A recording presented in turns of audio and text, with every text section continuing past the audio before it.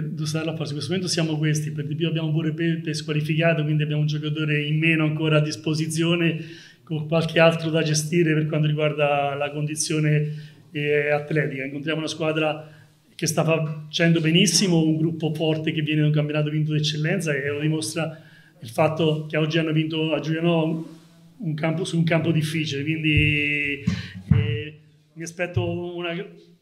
partita contro una squadra difficile, ma noi dobbiamo in un modo o nell'altro fare una prestazione anche migliore di questa di oggi perché ci serve assolutamente eh, i tre punti perché i ragazzi vogliono eh, coprono dentro la voglia di esultare e di portare via un risultato importante. Sicuramente eh, per mercoledì non so se facciamo in tempo a inserire qualche altro giocatore, però qualcun altro sicuramente arriverà. E qual qualche giocatore diciamo fresco mercoledì ci sarà in campo perché magari qualcuno oggi è partito dalla panchina, qualcuno non è entrato per niente, sicuramente qualcosa cambieremo per dare un po', portare forze fresche alla squadra.